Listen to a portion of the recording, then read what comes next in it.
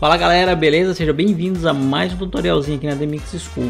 E hoje eu vou passar para vocês não um tutorial, é um tutorial vamos dizer, mas uma atualização sobre a inteligência artificial. Eu descobri uma nova inteligência artificial comparado ao Mid Journey. Bora lá para a tela que eu vou te mostrar um pouquinho como que isso daí funciona. Pessoal, a inteligência que eu descobri foi a Blue Willow, né? Se você entrar aí, eu vou deixar o link aqui Blue, na descrição, bluewillow.ai. É a nova inteligência artificial aqui que ela gera imagens com base no que você escrita. É bem similar ao Midjourney. Hoje, estou gravando essa aula aqui dia 11 do 4, né? Então hoje essa a, o Midjourney está sendo pago, né? Ele tem uma taxa lá, não está mais liberando nada de graça. E essa inteligência aqui veio. Porém, ela não tem a mesma qualidade que o Midjourney, né? A gente consegue ver aqui alguns trabalhos, né? É, que ela gera e tudo mais, só que assim, ela está em fase de desenvolvimento. O Midjourney explodiu, então assim, para você que não entende de inteligência artificial, o que que acontece? Quanto mais você pesquisa, quanto mais você procura, quanto mais você faz os seus prompts ali é, para poder aprimorar a sua imagem que você quer que, que ela, ela, ela reproduza, é, vai treinando essa inteligência, entendeu? Então como que faz? Eu vou entrar aqui no site lá, né, Blue Willow, e é o mesmo esquema pelo Discord. Né? Então se você não tem o Discord, você vai ter que baixar o Discord também, é discord.com aí, ó. Deixa eu colocar o link aí para vocês. discord.com, baixa o Discord e você cria uma conta lá no Discord que vai essa ele vai, ele vai gerar um canal lá no Discord, né? Para você que não entende, eu vou entrar aqui no meu Discord, que eu já tô logado, né? Já vou mostrar para vocês aqui, ó.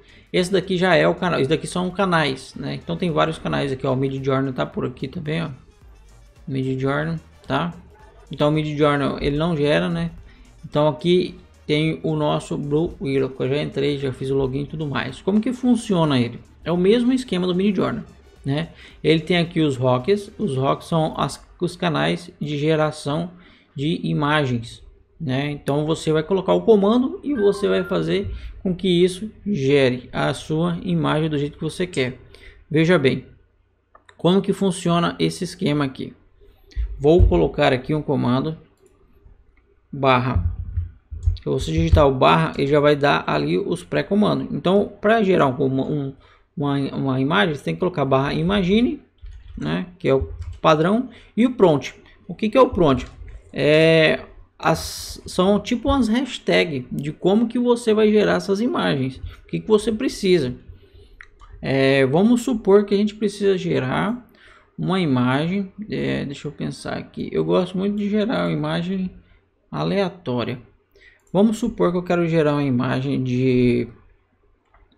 É, vamos ver aqui um, um coelho, um rabbit, de, de asas é, né? Então aqui e com base no que o pessoal gera aqui em cima, você consegue gerar também outras funções, né? O, ó, ele, ele coloca aqui outro realístico, 8K. Ele, ele te dá algumas possibilidades aqui de você copiar o pessoal já escreveu, né? E você aprimorar na sua geração. Vamos colocar aqui normal. Eu não sei se é o mesmo esquema do Midjourney. Vou tentar aqui, menos menos V4, para ver o que, que ele vai gerar para nós, né? Então, ok, queria que eles vamos ver. Ele, é muita atualização, pessoal. É muita gente é, utilizando já a plataforma. Então, direto tem bastante, bastante informação aqui. Vamos aguardar que ele vai gerar aqui embaixo para gente. Ó, ele gerou aqui. Esse aqui é o meu comando, chapola, né? Então, Rabbit Ring V4. E o Rabbit, na verdade, ele gerou uma mulher. Eu queria que gerasse um coelho, né? Mas ele gerou uma mulher. E olha a qualidade que ele gerou aqui com apenas três comandos aqui, né? Então, isso daqui a gente pode criar um prompt muito gigantesco. Vamos copiar, vamos, vamos tentar gerar um prompt aqui padrão ao Midjourney. Vou copiar, vou achar o Midjourney aqui né? E eu vou copiar um comando que geraram aqui no Midjourney e eu vou jogar lá para ver o que, que ele vai aparecer para gente. Vou pegar um bem extenso, bem gigantesco, olha aqui. A com base na foto. Deixa eu ver aqui. Vou pegar um comando bem extenso. É, que ele vai gerar mais ou menos parecido. Tentar fazer que ele gere parecido ao Mid Journey para a gente ver o comparativo de resultado de um e de outro. Olha esse daqui que legal. Donald Trump, então vou pegar o mesmo comando. Esse daqui é o prompt, tá pessoal? Esse aqui é o prompt comando que eles falam. Né? Então vou, vou, salvar essa imagem aqui para a gente ver e fazer um comparativo. É, colocar aqui na área de trabalho mesmo para a gente fazer um comparativo depois. Então eu vou ali no canal aqui do Blue Willow, né? Vou ali nas últimas última mensagem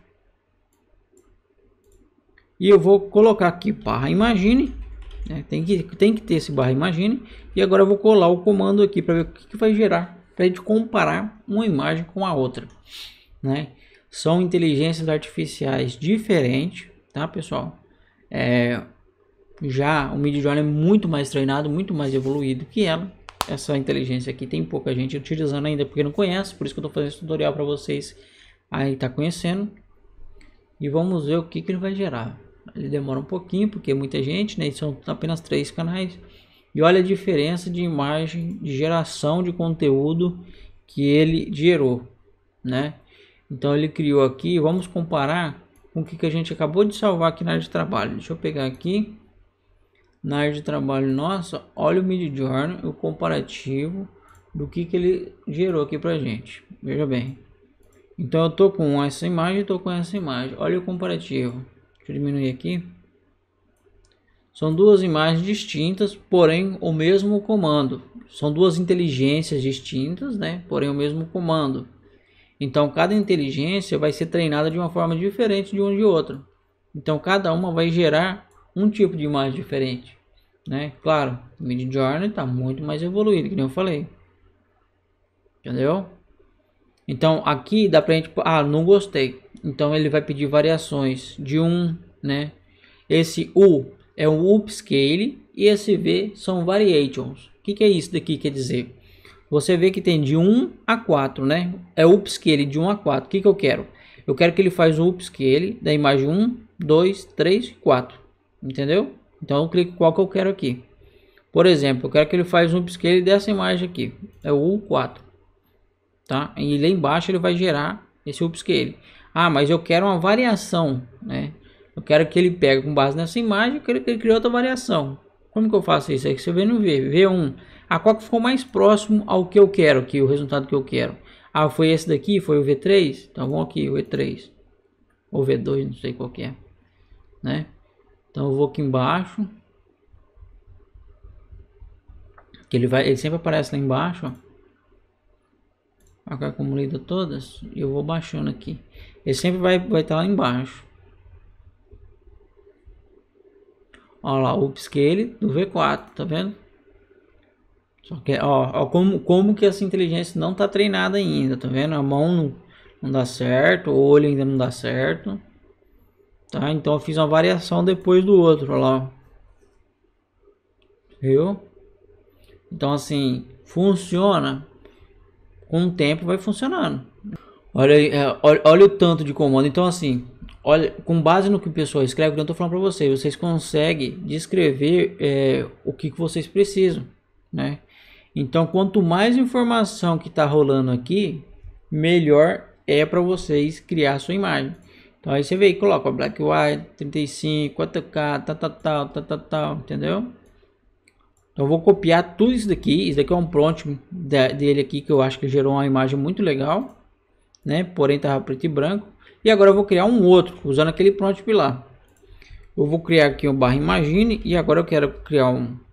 Vamos ver aqui um dog um dog é um dog 3D é, Space é, que mais? Um 3D Space Mon que é lua. E eu vou colocar tudo aquelas tags lá. E vou dar um enter. Vamos ver o que, ele vai gerar pra gente né? É sempre legal pessoal vocês colocar é, um prompt todo em inglês né? Como a inteligência é em inglês você vê que que dá tudo em inglês, né? Então, trabalho no inglês também, que vai ser vai te gerar algum conteúdo mais voltado ao que você precisa. Olha que legal a imagem que ele gerou com aquele prompt. Então assim, ó como que o prompt influencia na geração da imagem, entendeu? Se eu coloco só do, barra imagine dog, né, 3D space mon. Se eu coloco só esse prompt aqui, vamos ver o que, que ele vai gerar. Só com aquele prompt lá. Olha lá o que, que ele gerou com base no que eu escrevi apenas, né? Então ele gera alguma coisa muito aleatória. Então se você não dá uma direção para a inteligência artificial gerar o que você quer realmente, ela vai te gerar várias coisas aleatórias. Né? E com base no que ela gerou, você vai e coloca alguma coisa. Por exemplo, eu quero que ele crie variações dessa 4 aqui, ó. Vai 4.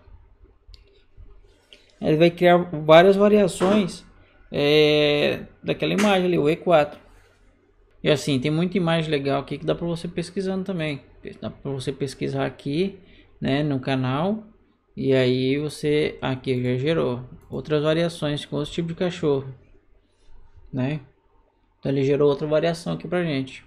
Então assim, pessoal, eu estou passando aqui para informar para vocês que existe uma outra, uma outra inteligência artificial capaz de gerar imagens parecidas ao Midjourney, que é muito semelhante. Só que vocês vão ter que trabalhar com prompt de comando, né? Então assim, é interessante e vê aí o que, você gerou, o que você achou mais interessante que você gerou de imagem, manda pra gente que a gente publicar aqui na nossa, nossa rede social, no Instagram, tá? Ver o que, que você consegue gerar e que resultado você consegue retirar dessa inteligência artificial. O que você acha mais top, escuta só, o que você acha mais top, o que, que você consegue tirar, me manda lá no Instagram, que é arroba TheMixSchool, que a gente vai publicar na página lá, Instagram, e marcar vocês, beleza? Então, pessoal, fica com essa tutorial aí hoje, essa, essa dica importante, esse, essa informação aí, né, que é legal a gente estar trazendo para vocês, é, de inteligência artificial, que vai agregar também Hoje não existe nenhuma inteligência artificial capaz de criar, por exemplo, um post para rede social pronto, mas já existe o é, ChatGPT que ele vai criar várias cópias interessantíssimas que você dá para adaptar com o seu cliente, beleza? Então, se aparecer alguma inteligência artificial voltada a isso daí, capaz a gente que trabalha com computador, com essas coisas e tá utilizando, eu vou estar tá compartilhando com vocês aqui. Espero que vocês gostem, curtam compartilhem. E quem tem aquele amigo que é designer, que gosta de usar isso daqui, manda para ele que vai ser top. Valeu, até mais e até a próxima. Um grande abraço.